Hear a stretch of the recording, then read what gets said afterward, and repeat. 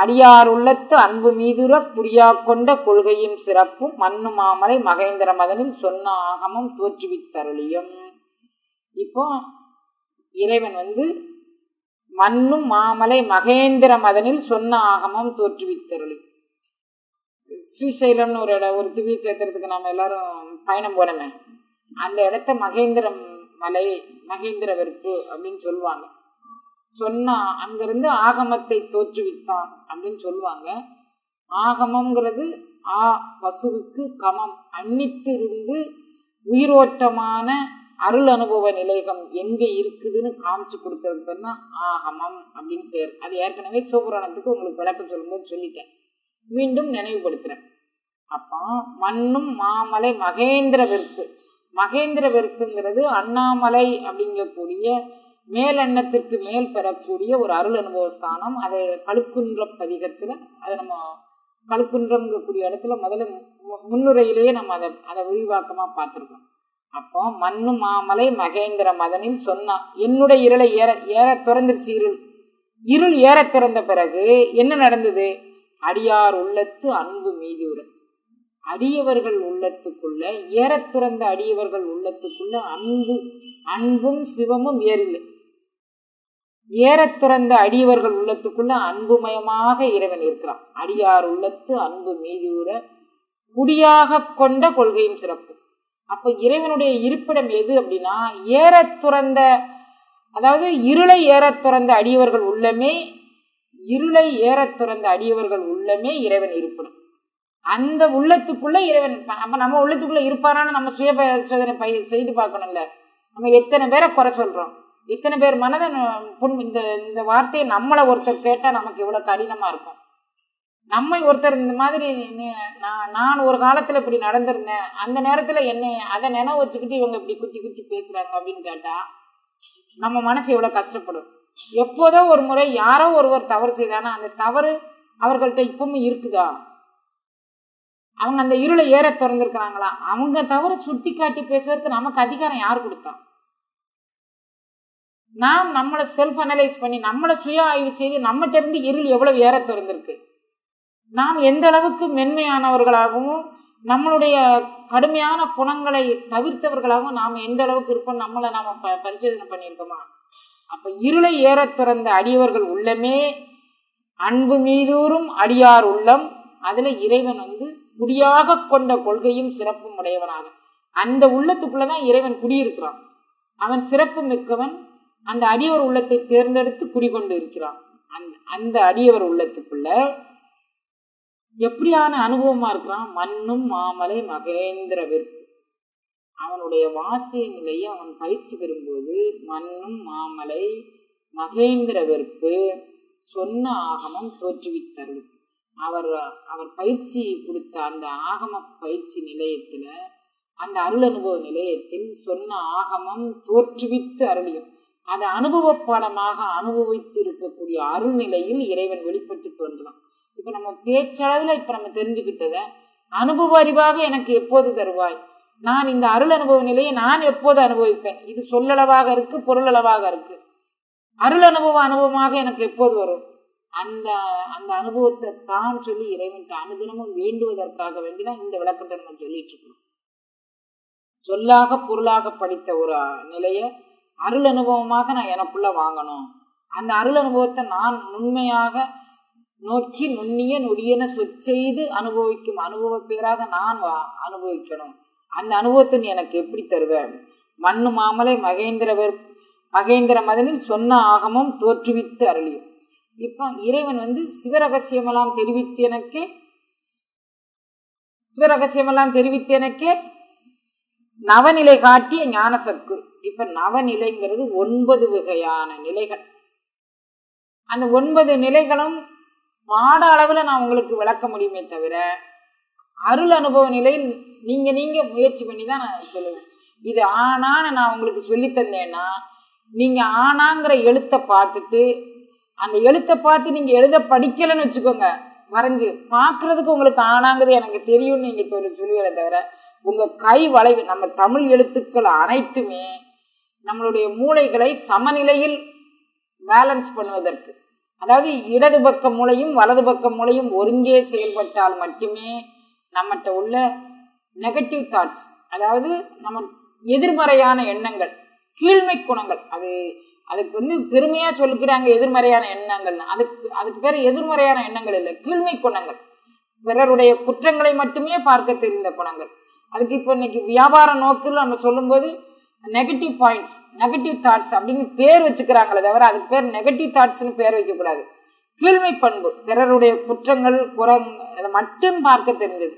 அவங்க செய்து எது திணையத்தனை செய்யட்டுமே அது ஒரு பெருமையான தன்மை தான் இப்போ சிவ நான் ஆனான்னு சொன்னேன்னா சித்திரமும் கைப்பழக்கம். நீங்கள் ஆனா எழுத எழுதாத பட்சத்தில் அந்த சுழி எழுத்துக்கள் இருக்கு பாருங்க அது உங்களுக்கு வரவே வராது.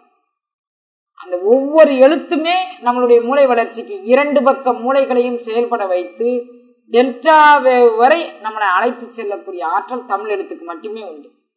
அந்த தமிழ் எழுத்து தெரியாமல் நம்ம குழந்தைங்களை வளர்க்குறோம் பாருங்க அது ரொம்ப கொடுமை. அந்த அதாவது இப்போ நம்ம எல்லாருமே பீட்டா வேவுக்கு கீழே அதுக்கும் கீழே ஏதாவது ஒரு வேவில் இருந்ததுன்னா அது வரைக்கும் தான் நம்ம சிந்திக்கிறோம். நாலு அதிர்வெண் வரைக்கும் கூட நம்ம சிந்திக்கலை. அதுக்கு மேலே அதுக்கு மேலே அதுக்கு மேலே நம்ம போய்கிட்டே இருக்கணும். அது வந்து டெல்டா வரைக்கும் நம்ம கொண்டுட்டு போனோம்னா இந்த தொழில் இந்த நுட்பங்களை நாம் அனுபவ அறிவாக அனுபவிக்கிறதுக்கு இவை உதவி செய்யும். சிவரகசியமெல்லாம் தெரிவித்து எனக்கே நவநிலை காட்டிய ஞான சத்குருவே ஏகாதச நிலை யாது அதன் மீது? ஏகாதனமிசை இருந்த மெய்ப்பொருளை. ஒருமைப்பட்ட சிந்தனை ஏகாதனம். பத்து இந்திரியங்களும் ஒன்றி அதாவது அஞ்ச பஞ்ச பூதங்கள் பஞ்ச பொறிகள் அந்த பத்தும் ஒன்றி. அந்த அவை புறம்போக ஒட்டாத ஒரு லாடம் கட்டி நம்ம பயின்றோம்னா ஏகாதனம் இசை இருந்த மெய்ப்பொருள். அந்த ஒருமைப்பாட்டில் நின்று நமக்கு அருள் அனுபவத்தை தருவான். அந்த அருள் அனுபவத்தை நம்ம உள்வாங்கிக் கொள்வதற்கான சாதனம் தான் அந்த சத்சங்கம். இப்போ நீங்கள் இதில் கேட்டதெல்லாம் நீங்கள் தனிமையில் இருக்கும்போது ஏகாதச நிலை யாது? ஒருமைப்பாடான நிலை யாது? ஏகாதனம் இசை இருந்த மெய்ப்பொருள். அதுதான் ஏகாதனத்தில் ஆசனத்தில் ஏக ஆசனத்தில் இருந்த மெய்ப்பொருள் ஏக தச பஞ்ச பொறிகளும் பஞ்ச புலன்களும் ஏகமாக ஒன்றாக ஆயிடுச்சுன்னா ஏக தசம் அப்படி ஆயிடுச்சுன்னா ஏக ஆதனத்தில் மெய்ப்பொருளாக அவன் இருப்பான். அப்ப இந்த பஞ்ச பொறிகளையும் புலன்களையும் எப்படி நம்ம ஒன்றுவிக்கிறது? அப்போ அவன் தான் அதுக்கான வழித்துறைகளை காமிச்சு தரணும். அப்படியான ஒரு ச ஒரு சரணாகதியை நமக்கு காட்டி வைக்கிறதா விற்றுக்குள் அடகுவை ஒற்றுவை எண்ணினதா. என்னால இது செய்ய முடியுமா? நான் இந்த அருள் அனுபவத்தை பெற முடியுமா? நீயா பார்த்து எனக்கு ஏதாவது ஒரு கருணை பண்ணினாதான் நான் அதை பெற முடியும் அப்படிங்கிற ஒரு சரணாகதி. கல்லாடத்து கலந்தினி தரலி நல்லாளோடு நயப்புறவு எய்தியும். அல்ல சிவமும் சக்தியும் இடகலை பிங்கலையாக நமது வாசியில் ஓடிக்கிட்டு இருக்கு கல்லாடம்கக்கூடிய ஒரு இடத்துல இறைவன் வீற்றிருக்கிறான் அப்படின்னு புராண வரலாறா கல்லாடம்கக்கூடிய இடம் இப்போதைக்கு அது எந்த இடம்னு தெரியல. எத்தனையோ ஊர்கள் இப்போ ஆவுடையார் கோயில்ன்ற பேரில் திருப்பெருந்துறைங்கக்கூடிய ஊர் ஆவுடையார் கோயில் ஆயிடுச்சு. இப்போ கல்லாடம்ங்கிறது எந்த ஊராக இருக்குன்னு யாருக்கும் தெரியல. ஆனால் கல்லாடத்து கலந்து இனிது அருளி நல்லாளோடு நயப்பு உறவு எய்தியும். இடபெண்களை இரண்டும் கலந்து சுழுமுனையில் உனது மனதை நிலைநாட்டினால் கல்லாடம்ங்கக்கூடிய இடத்துல கல்லாடத்து கலந்து இனிதருளி இரண்டு கலைகளையும் ஒன்றுவித்து ஒரு நிலையில் நீ நிலை நிறுத்தினால் நல்லாளோடு நயப்புறவு எய்த முடியும் அந் அந்த பேரண்ட நாயகனோடு ஒன்றுவிக்கக்கூடிய உண்மனாதேவிங்கக்கூடிய சக்தி உங்களை பேரண்ட நாயகனோடு ஒன்றுவித்து தரும் ஒரு கடைசி நிலை நிறை அனுபவம் அது. அதை உண்மனாதேவியோடு உங்களை பேரண்ட நாயகனோடு உண்மனாதேவி உங்களை இணைத்து தருவாள் அப்படிங்கிறதுனால கல்லாடத்து கலந்து இனிதருளி நல்லாளோடு நயப்புறவு எழுதியும் இதே தான் அப்பர் சுவாமிகள் ஒரு பாட்டில் சொல்றார். இறைவன் வந்து கைலாயத்தில் பார்க்கலான்னு அங்கே போயிட்டார். கைலை காட்சி உனக்கு அங்கே இல்லைப்பா நீ பூலோகத்துக்கு போ. பூலோகத்தில் போய் எங்கே போய் பார்க்க போகிற கைலை காட்சின்னா ஐராய காட்சி உனக்கு திருவையாற்றில் இருக்கு. பஞ்சநதி தீர்த்தம்னு அதுக்கு பேர். தூய தமிழில் பஞ்சநதி பஞ்சநதி தீர்த்தம்னு பேர். ஐயாறு அஞ்சு ஆறுகள் ஓடக்கூடியது. பஞ்சநதியும் சங்கமிக்கக்கூடிய அந்த இடம். அங்கே போன்னு சொல்லிட்டார். அங்கே வந்த உடனே பார்க்குறாரு ஆண் பெண் எல்லாமே சரப்பொருள் அசரப்பொருள் எல்லாமே ஆண் பெண் வடிவங்களாக. யானை மயில் மான் இவைகள் எல்லாமே ஆண் பெண் வடிவங்களாக அவருக்கு காட்சி கொடுக்குது. அவை இறை வடிவங்களாக அவருக்கு காட்சி கொடுக்குது.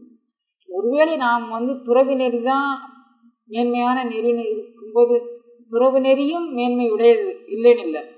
ஆனால் இல்லறம் வந்து பழுதுபட்டதல்ல. எல்லாம் இணையாக இணையாக இங்கே வந்து நிற்கிற தோற்றத்தை பாரு. அவைகள் மிகுந்த நிறை நிறைநிலையில் அவங்க இருக்கிறாங்க அப்படின்னு சொல்றது. கல்லாடத்து கலந்து நிதறலி நல்லாளோடு நயப்பிரவேதி. அதை நினைச்சு அவரு சொல்றாரு மாதர்பிரை கண்ணியானை மலையாள் மகளோடும் பாடி போதோடு நீர் சுமந்து ஏற்றி புகுவார் அவர் பின் புகுவேர். மாதர்பிரை கண்ணியானை மலையான் மகளோடும் பாடி. இயன்கங்கை அமுது என்னோடு வரும்போது மாலை மாதர்பிரை கண்ணியானை மலையான் மகளோடும் பாடி. இயன்கங்கை அமுதாக அந்த அம்பிகை எனக்குள்ள வரும்போது போதோடு நீர் சுமந்து ஏத்தி புகுவார் அவர் பின் புகுவேன் அந்த நீராய் உருக்கி ஆரூராய் நின்ற நிலையில் நானும் அந்த வாச நிலையை சரி செய்து அதோடு நான் போகும்போது காதல் மடப்புடியோடு களிர் வருவன கண்டு. யானையும் ஆண் யானையும் பெண் யானையும் ஒன்றாக வந்தது. அப்போ ஒரு இயக்கத்துல இடகரை இது நேர்மின் சக்தியும் எதிர்மின் சக்தியும் ஒரே சீரான கோட்டில் வந்தானா நீங்கள் லைட்டு போட்டால் Um, சுவிட்சை ஆன் பண்ணிங்கன்னா லைட் எரியும். இல்லாட்டி சுவிட்ச் ஆன் பண்ணாலும் லைட் எரியாது. அது ஆப்போசிட் டைரக்ஷனில் போச்சுன்னா உங்களுக்கு வராது. அதனால் நான் இதை உணராமல் இடக்கலை பின்கலையை செம்மை செய்யாமல் வாழ்ந்தேனேன்னு கல்லாடத்து கலந்து இனிது அருளி நல்லாளோடு நயப்புறவு எய்தும் தன்மையை இறைவன் மகேந்திர வெற்பில் சொன்ன ஆகமம் தோற்றுவித்து அருளிய பிறகு நான் தெரிந்து கொண்டேன். அந்த மகேந்திர வெறுப்புக்கு நாம் போகணும் இந்த அருள் அனுபவத்தை பெறணும் அப்படிங்கிறது அதனால் அதுக்கு அடுத்தபடியில் அவர் சொன்னார் கண்டேன் அவர் திருப்பாதம் கண்டறியாத நான் கண்டேன். நான் காதல் மடப்பிடியோடு களிர் வருவன கண்டேன் கண்டேன் அவர் திருப்பாதம் கண்டறியாதன கண்டேன். காதல் மடப்பிடி வரும்போது நான் வந்து அந்த மடப்பிடி இரண்டும் ஒரு ஆண் ஆணையும் பெண் ஆணையும் வருவதுமாக கண்டேன். அப்படி காணும்போது இடகரை பெண்களை இரண்டனுடைய நுட்பத்தை தெரியும் போது கண்டேன் அவர் திருப்பாதம் கண்டறியாதன கண்டேன். இதுவரை அறியாத ஒரு உணர்வு. நான் எங்கோ கைலயத்தில் இறைவன் இருக்கிறான்னு நான் நினச்சிக்கிட்டு இருந்தேனே. எங்கோ இல்லை. என்னுள்ளே இருக்கிறான் நான். கண்டேன் அவர் திருப்பாதம். கண்டு அறியாதவன். இந்த அருள் அனுபவத்தையும் நினைச்சுக்கிட்டு நாம என்னத்தையோ எ- எதையோ தெரிஞ்சுக்க போறோம். எதையோ வச்சுக்க போறோம். என்னென்னத்தையோ பார்த்துட்டு எதையோ க- என்ன சொல்ல நம்ம வாழ்நாளெல்லாம் எவ்வளவு ஒரு நாளைக்கு எனக்கு நேரத்தை கொல்றதுக்கு எப்படி அன்பே சிவம் அந்த அன்புக்குள்ள மூழ்கி அந்த அன்பை பத்தி பேசி அந்த அன்பை பத்தி சிந்திக்காம நம்ம வாழ்நாளெல்லாம் வீழ்நாளா ஆக்குறதுக்கு எனக்கு யாரோ என்னவோ செய்திருக்காங்க எனக்கு யாரோ ஏதோ வச்சுட்டாங்க. பொறுமையா அவங்க சொன்ன கதையெல்லாம் கேட்டு யாரும் எதுவும் செய்யறதுக்காக வேண்டி உலகத்தில் நம்ம படைக்கப்படலை. ஏதோ ஒரு துன்ப அனுபவம் வர்றது அப்படின்னு சொன்னா முன்னை வினை வந்து மூண்டதிருக்கும் மட்டினத்தார் சொல்றார் இல்லையா? நான் இந்த இப்பிறவில செஞ்ச வினை இல்லை இது. அழுமரத்தை பார்க்குறாரு நான் வந்து பிறந்ததுலேருந்து சிவச்சிந்தனையிலே தான் இருந்தேன். கட்சி ஏகமனே நான் சிவச்சிந்தனையில் இருந்தேன். எனக்கு கழுமரங்கக்கூடிய ஒரு விதி ஒன்று பாக்கியிருந்தது போல இருக்க. என் செயலாவது யாதொன்றுமில்லை. இனி தெய்வமே உன் செயலென்று உணரப்பெற்றேன் இவ்வூனெடுத்த பின் செய்த செயல் ஒன்றுமில்லை. முன்னை வினை அன்னை வயிற்றில் பின் பிறந்த பின் செய்த செயல் இல்லை இது. முன்னை வினை வந்து மூண்டது. ஏதோ ஒரு வினை எல்லாருக்கும் இருக்கு. அது அந்த வினை தான் நமக்கு இவ்வளவு காரண காரியம் நம்ம நினைக்க தோணல பாருங்க. யாரோ நமக்கு ஏதோ செய்துட்டாங்க. யாரு எத்தனை காலம் இதை நம்ம சொல்லிட்டே இருக்க போறோம்? எத்தனை காலம் நம்ம இதை கேட்டுக்கிட்டே இருக்க போறோம்? இப்போ முன்னை வினை வந்து மூண்டதன் காரணமாக நமக்கு இந்த வினைப்பதிவுகளை அனுபவித்து கழிப்பதற்கான தனியா தவமே ஒன்றும் பண்ண வேண்டாமே நம்ம. தவம் பண்ணணும் அப்படின்னு சொன்னா உற்ற நோய் நோன்றல் உயிர்க்கு உருகன் செய்யாம. பிற உயிர்களை தொம்புறப்படுத்தாம இருந்தானாலே நீங்க தவம் பண்ணாதான் இருக்கும் இதுதான் தவத்திற்கு ஒரு இலக்கணமே இதுதான். அந்த இலக்கணத்தை நம்ம கடைபிடிச்சோம்னா போதும். காதல் மடப்புடியுடன் களிர் வருவன கண்டேன் கண்டேன் அவர் திருப்பாதம் கண்டறியாதன கண்டேன்னு அந்த திரு அம்பல காட்சி பார்த்ததை எல்லா அருளாளர்களும் இப்படிதான் பதிவு பண்றாங்க.